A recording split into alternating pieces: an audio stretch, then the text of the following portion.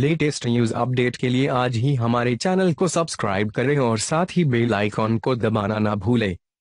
चीन में महिला पुलिस अफसर ने महिला कैदी के बच्चे को अपना दूध पिलाकर मिसाल कायम की है दरअसल, मध्य चीन की एक कोर्ट में ट्रायल के दौरान महिला कैदी का बच्चा भूख से रो रहा था। वहाँ ड्यूटी पर मौजूद पुलिस अफसर हाउ लीना ने उसे गोद में ले लिया। उसे चुप कराने के लिए उसने ब्रेस्ट फ़ीड कराया। लीना के इस कदम की दुनिया भर में तारीफ़ हो रही है। मसहाओं का कहना है कि मैं खुद एक माँ हूँ। जब बच्चा बहुत रोने लगा कि हम सब लोग बहुत परेशान हो गए, फिर मुझे लगा शायद इसे भूख लगी होगी। उन्होंने कहा कि मैंने बच्चे को शांत करवाने के लिए पूरी कोशिश की। जब वो बच्चे को दूध पिला रही थी, तब दूसरी महिला अधिकारियों ने उनकी फ़ोटो क्लिक कर ली।